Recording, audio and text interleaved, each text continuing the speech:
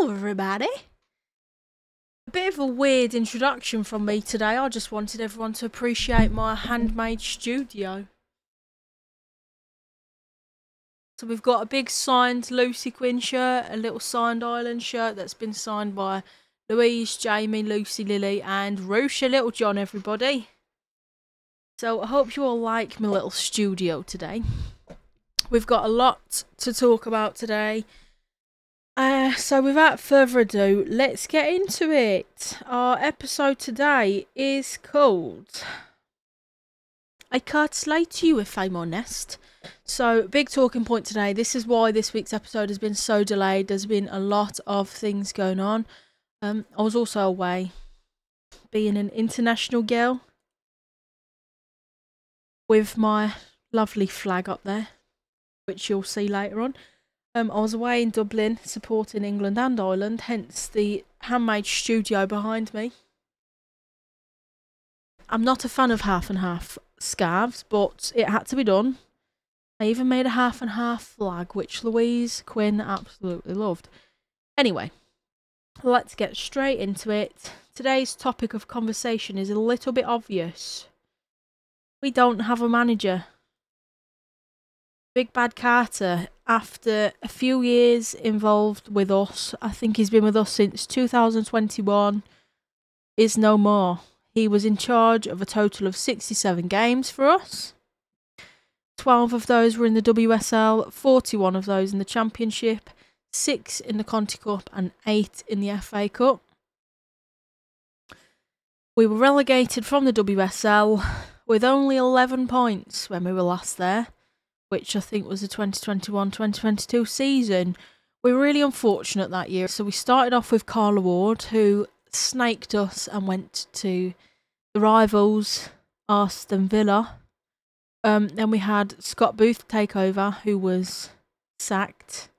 And then we had Tony Elliott, who was an interim manager, and then Darren Carter took over on the 21st of November 2021 when we were still in the WSL. So he had 12 games in charge in the WSL, which is just over half of the season. Um, we finished that season on 11 points, so we were relegated. Next in line was Leicester. We we're only two points away from Leicester, so one win could have made all the difference in that league then. So I'm not blaming anyone. We had a really unfortunate season that year, if I'm honest. if I'm honest, if I'm honest, if I'm honest. If you say that three times in the bathroom mirror, I will appear. I won't really. That's too much hard work. Anyway, back to Darren Carter. So, last season, well, actually, overall, in his 67 games, he had a 52% win rate. So it's not the best, but it's also not the worst. So out of 67 games while he was in charge, Blues won 35. Now, this is where I think the beef is. 52% win rate. It's not that bad, but it's the loss rate. 39%. That's nearly half as well. That's like just off 40%. So 35 wins, but 26 losses. That's a lot of points to be dropping and to be given away. So from that, other teams have taken three points there. We only had six draws. So this is where the issues are, isn't it, really? If those 26 losses hadn't have been losses, let's, for instance, last year, if we we'd have drawn instead of lost one of those games, we would be in the WSL this season. We lost out last year by one point. One point. Which is emotional. So, 2022 to 2023 season, obviously, we play 22 games each season, 15 wins, two draws, and five losses.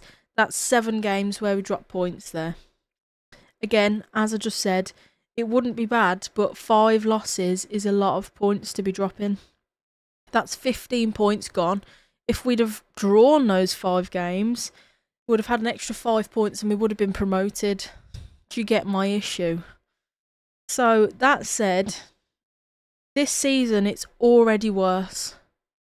I feel like I spoke about Darren Carter last week about my questioning of his whatever it is. But this season he had 19 games in the championship. We won 10 of those, drawn 3 and lost 6. So this is my beef. We're losing 6. That's a lot of points. That's 18 points going to other teams. So yeah, 10 wins, 3 draws, 6 losses, a lot of dropped points. I feel like, no offence to him, this should have happened a lot sooner. We've lost too many silly points now. So obviously last week was horrendous, Charlton. Not last week, the week before. The week before that, whatever happened, happened. Drawing to Blackburn Rovers, it's just, it's not good enough, is it? Um, so yeah, 52% win rate. That's not my beef. My beef is the 39% loss rate. So hopefully then, with our new manager, we might be able to do something better next year. So, who is this you are wondering? This is Amy Merricks. Amy Merricks previously was at Brighton Hove and Albion since 2015. She was there for eight years, did a few different roles while she was there. Um, she left there in April last year to be the England under 19 Lionesses head coach. Didn't stay there too long, not sure what happened with that. She stayed there until November 2023. And now we are rumoured to be getting Amy Merricks. So I think this is potentially a good a good thing. There's a few people that could have had the role. But the reason why Amy Merricks will work so well here obviously is because she was under Hope Powell for five years. So in her eight years at Brighton, she did a few different things. Assistant manager was one of them. Um, she was interim manager at some point multiple occasions actually. But also, from 2018, Emily Simkins signed for Brighton, who is our assistant coach. So yeah, that was I think she had four or five years there. So both Emily and Amy have worked very very closely with Hope Powell, who now works at Birmingham. So the three of those together is, you know, it's going to be an interesting combination. I've got faith in them up the girls and all that. When Amy had her interim manager roles, the first stint was for 58 days and the second stint was for 32 days. She didn't do too bad considering the games she had during those stints. So the first one, um, so from the 31st of October 2022 to the 28th of December the same year, which was 58 days. Um, Brighton had four games. She won two, drew one, lost one. Um, but they were against. So they had West Ham. They won that one. They played Liverpool, drew that one. London City Lionesses they won, and then Man City they lost. It was three one though, so it's not even like they got thrashed. And then the second stint she had was the sixth of March two thousand twenty three to the seventh of April two thousand twenty three. Only a thirty two day stint that time. Um, but they had five games in that time. This one's a little bit different. Um, games were a lot harder. So Chelsea away, they lost. Man City at home, they lost, but it was only 2 1. And then they beat Blues away 2 0 in the quarterfinals of the FA Cup. Then they drew to Reading away, and then they lost at home 4 0 to Man United. So, quite a hard game she had while she was actually in control. So, can't really judge her on those. But yeah, as I said, she's worked with Brighton since 2015. Brighton are now in the WSL. In April last year, from April to November 2023, Amy Merricks was hired as the under 19s Lionesses head coach. Um, I did some research and I found during that time she actually did some work with Sussex County FA and there was quite a lot of positive feedback about that. So she did a um, masterclass for them, continuous professional development masterclass, and her focus in this masterclass was on finishing in the final third. This is something I really, really think we lack. So, remember last week, I think it was, we went through some of the statistics of expected goals and we just weren't getting that many goals. So, we're having a lot of shots, but we can't finish in the final third. So, if this is something she's clued up on, we might be alright. So, I'm really curious to see how we get on if we do sign Amy Merricks. Um, I think her working with Emily Simkins and Hope Powell would be actually alright. So, my fingers are crossed. I feel like it might be like the Holy Trinity Amy, Emily, and Hope. You've heard it here first, boys. Right, on to our final talking point for today. This one is a long, beefy one. Obviously, we've had no domestic women's football for um, a few weeks because of international duties we had nine players out on international duty. I got confused last week and said that Ellie Mason was with Northern Ireland. She's not. I lied. I was supposed to say that Christy Harrison Murray's with Scotland. We all make mistakes, hey? So, nine players we had out. Obviously, we had Louise, Lucy, and Lily with Ireland, Christy with Scotland, Cho and Yuri with South Korea, Rebecca Holloway at Northern Ireland, and then Neve, Herron, and Lucy Thomas with the under 23s interesting statistics for what happened with all these international matches. So let's start with Ireland because you know.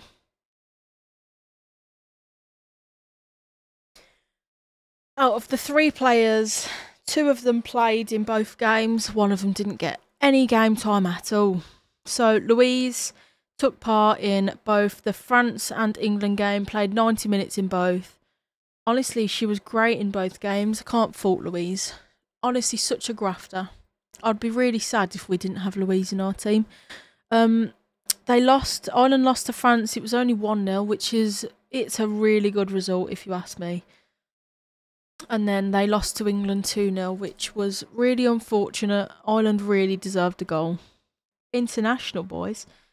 So then Lucy had 18 minutes against France, and then Lucy started against England had 60 minutes there, was replaced by Megan Campbell with the long throw ins. If you know, you know. If you don't, are you okay? No game time for Lily, unfortunately. So, next we'll talk about Christy Harrison Murray. Scotland played Serbia and Slovakia.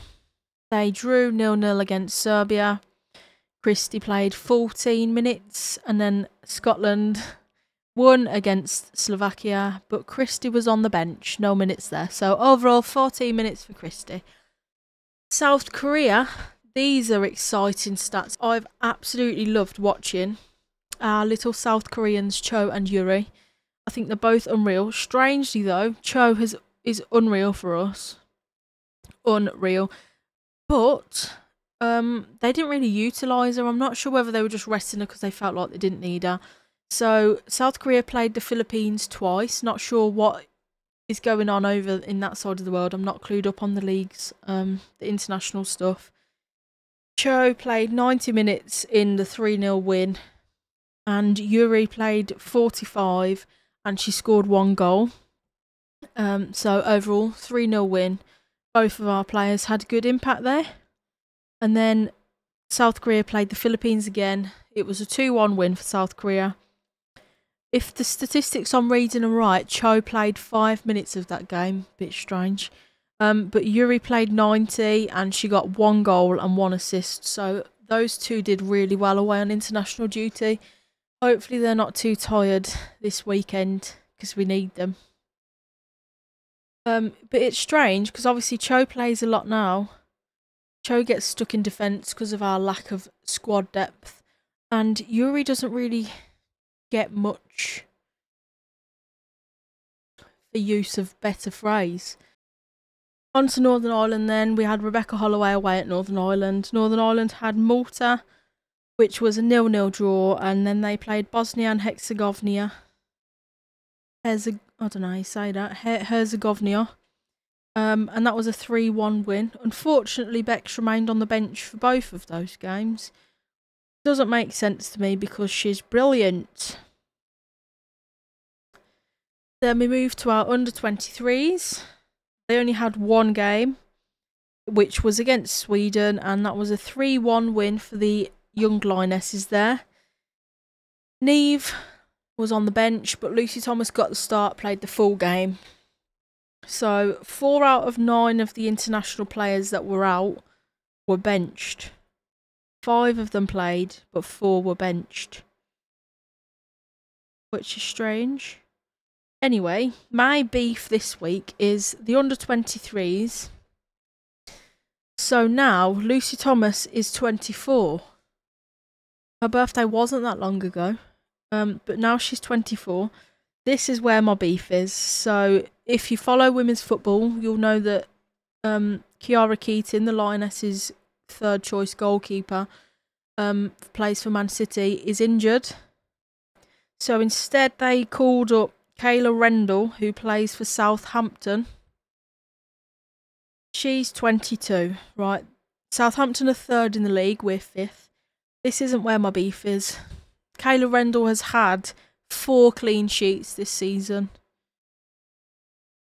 Four. Lucy had eight, I believe. Double. So if you look at the table for clean sheets in our league, Lucy is second out of 15 goalkeepers. Kayla Rendell is ninth. I'm not sure what Sarina was doing, if it was Sarina's choice.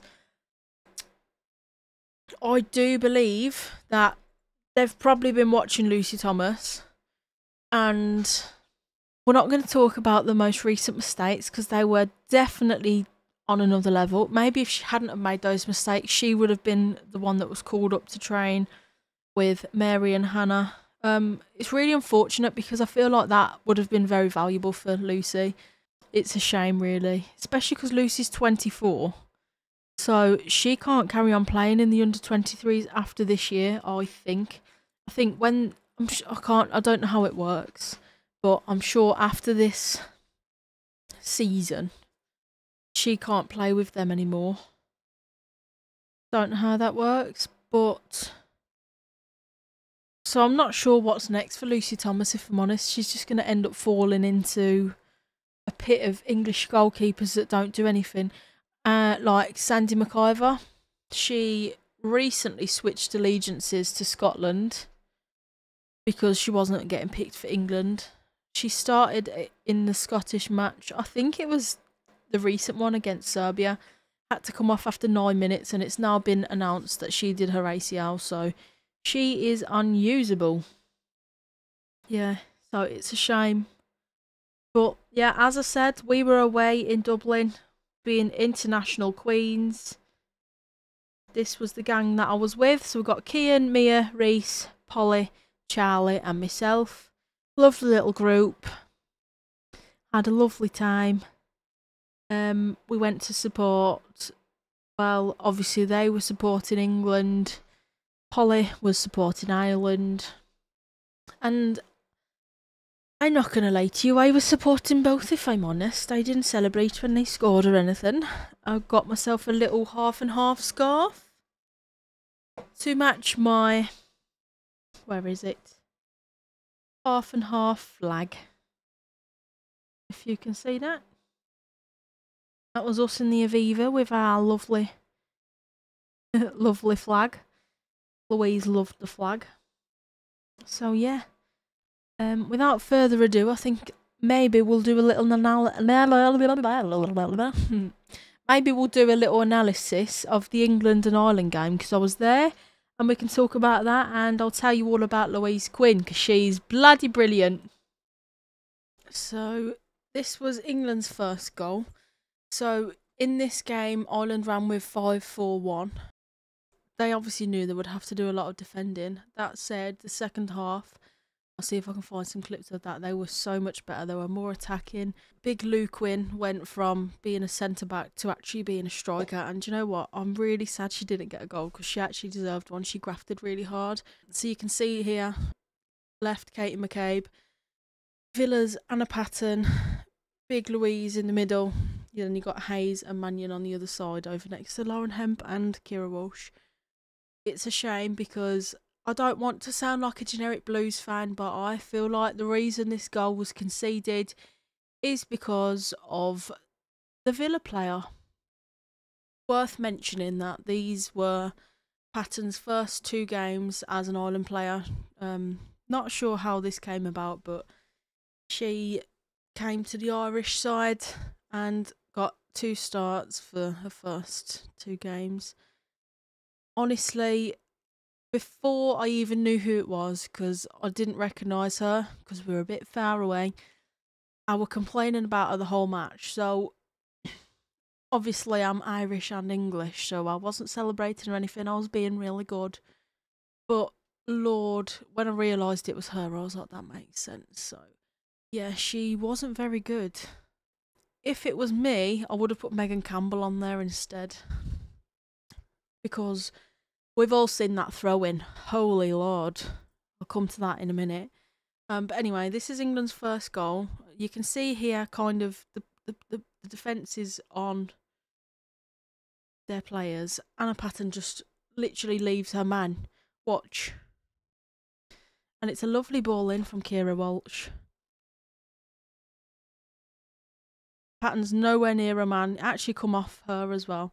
Which just makes it better. She gave it straight to Lauren James on a plate. She gave it to her. It's a shame because the goals they got completely avoidable. I know the second one was a penalty, but um, let's watch it again in slow motion. It's not even slow motion. But see again, Patton is nowhere near Lauren James. She actually just gives the ball to her.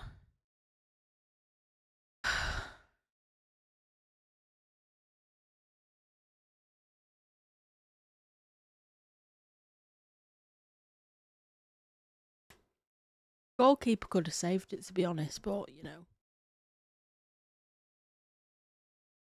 Yeah, I'm blaming Patten for that one.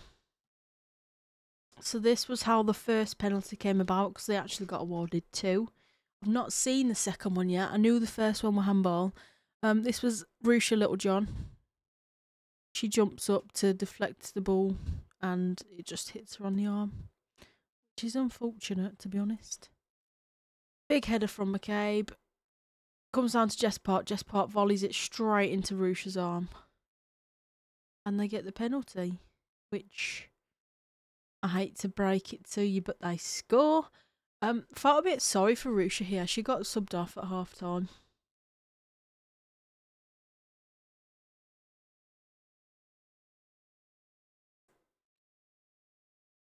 I'm not sure what she's screaming here. Oh,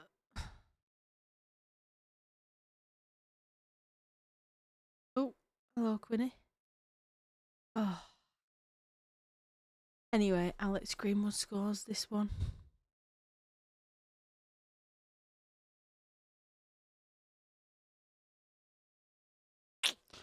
That was the second goal. There were no more goals after that, so we're in 18 minutes. So bear in mind, we've sat there for 70 minutes goalless. Actually, it was probably about 80 with added time and stuff, but... So this was the lead up to the second penalty. I've not seen this back yet. I know it was Big Lou that conceded it, apparently. I have to say, not one of those England players had their hands up then. I don't know what happened.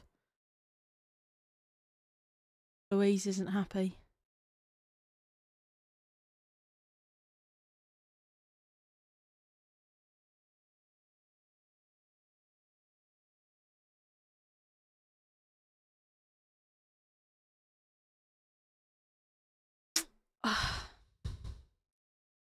She missed it anyway. Don't worry.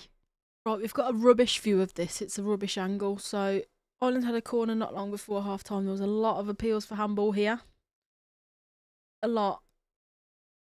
So let me just take it back.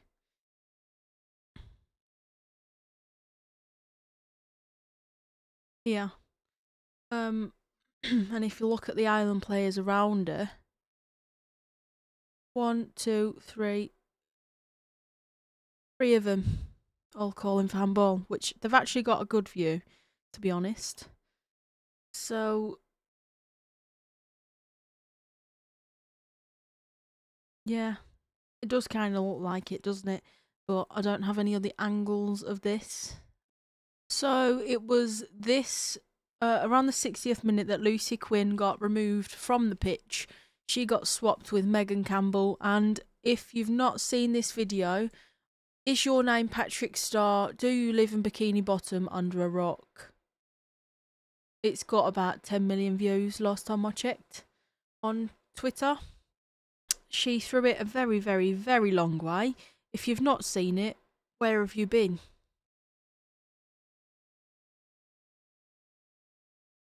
That's ridiculous.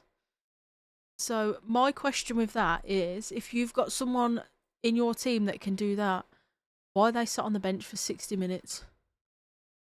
If it was me personally, I would be playing for throw ins so she could do that over and over again. Um, because you can't be offside from a throw in, can you?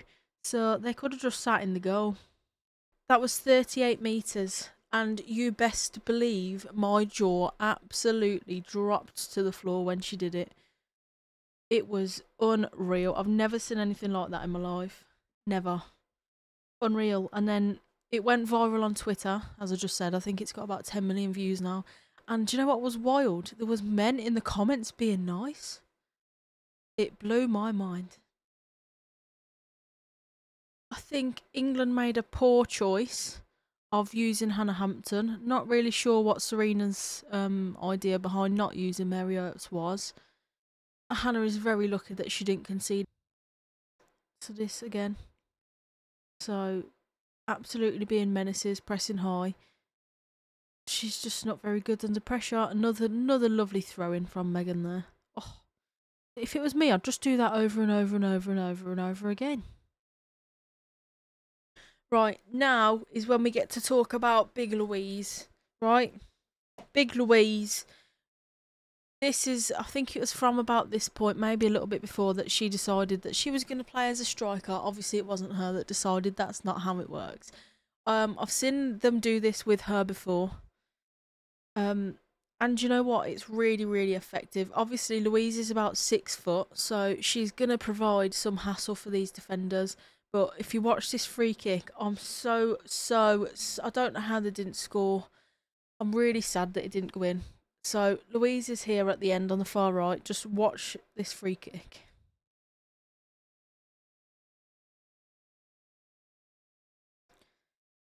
Again, look who missed that. I'll draw your attention to number 12, please.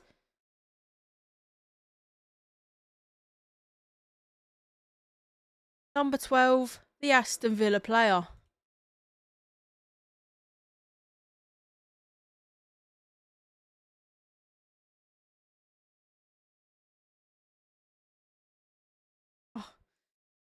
Lovely run from there. Lovely to keep it in. And the fact that the two of them missed it just honestly pains me so much.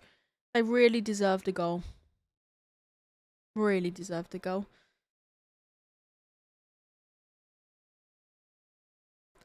Big Lou just couldn't get ahead to that.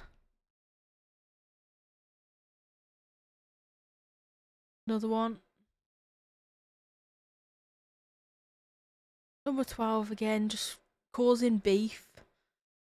I don't know how she started and stayed on the pitch as long as what she was. I'm not seeing what everyone else is seeing. I know that number number five was the one that headed that, but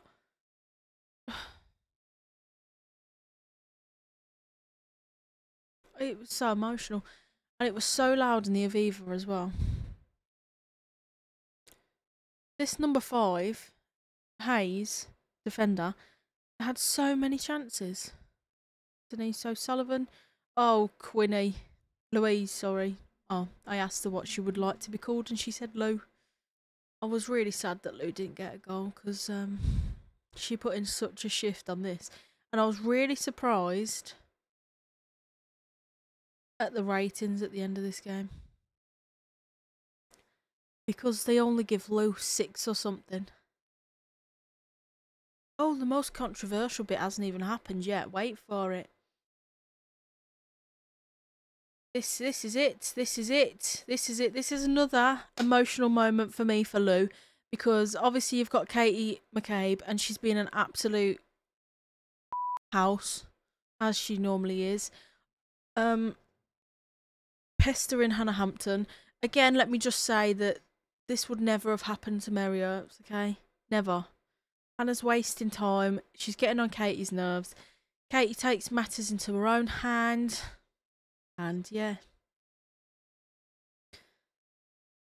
The fact that Katie McCabe couldn't just square it off to Lou, who's there, look, look, look, Lou's waiting. You got another one on the edge of the box there. Lovely. You got Leanne Kiernan here, just waiting. Lou, just waiting. No, McCabe wants to shoot at Hannah Hampton from that close. Why?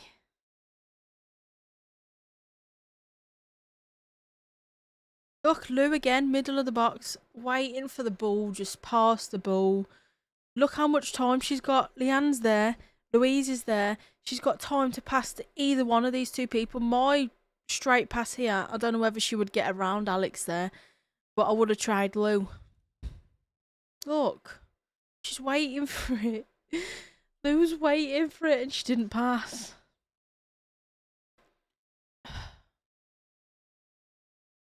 That's all I've got to show you for that. So at the end of the game, lovely, lovely, lovely, lovely big Lou came over to us. And she was living it up with our little flag. She's so cute. I've never met a cuter person. And I had to make sure, I said to her, I have a really important question. She was like, what? I said, what would you like us to call you? Because obviously her name's Quinn. Lucy's name is Quinn. We've got two Quinns, so I wasn't sure what she wanted to be called, so we asked her, and she said Lou. So everybody, this is Lou. She was ever so cute. It was nice that she came over to us. Something that really got on my nerves, though, we were stood talking to her, and then someone said, "Excuse me," after she was walking away. She was like, "Yeah," because Lou is so nice. If anyone knows knows Lou, they'll know how nice she is. She's like, "Yeah, you okay?" And then the girl called her over, so Louise has gone over. We're still stood here at this point. She says, "Can you do me a favour, please?" And Lou's like, "Uh, yeah, sure." So then she hands her this envelope. Scraggy bit of paper. Looks a bit like this, right? Looks exactly like this. Looks like that. Bit battered. She said, um, can you give this to one of the players, please? And Louise was like, yeah, sure, who? And she said, Keira. Lou was like, Keira? She said, Keira Walsh. And Lou went, the, the England player, Keira Walsh. And the girl's like, yeah. And she said, oh, um, I'm not sure I'm actually going to see her, but uh, yeah, okay. So then Lou walks off with this girl's handwritten love letter to Keira Walsh, and it was the strangest thing I've ever seen. But yeah, anyway, Lou came straight over, had a little picky with us, holding our flag, which is really funny. This flag is huge, it's big. I can't hold it on my own. And then Lou just took it, and she was like, bam. And we were both like, okay, then, yeah, she doesn't need any help holding that. Um, but yeah, Lou's a, Lou's a cutie.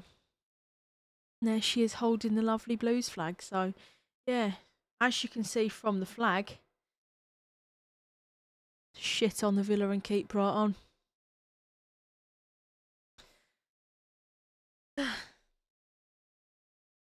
So all set for Sunday's game against Crystal Palace away.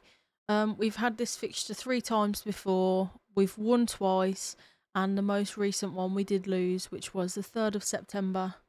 Um, we were at home. We lost two one.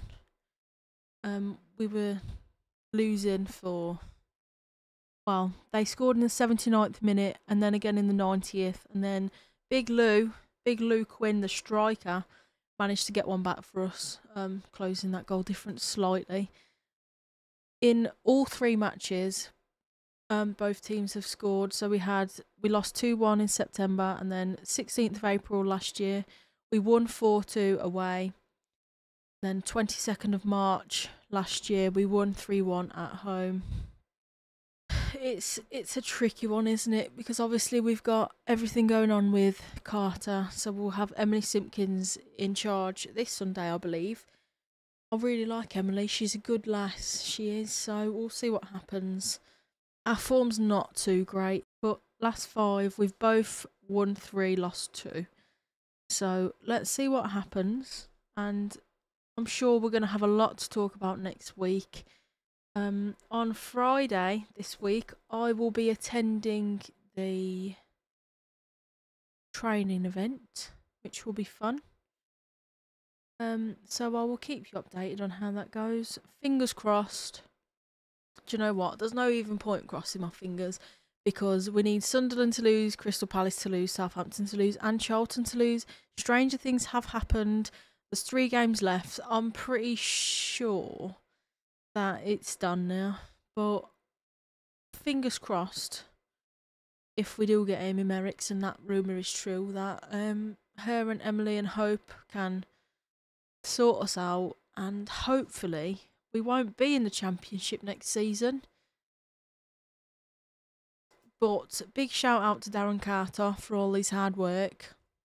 Shout out to Lou. Big Lou Quinn. We love you, Lou. I've been Shani C and get back to the Pitchen.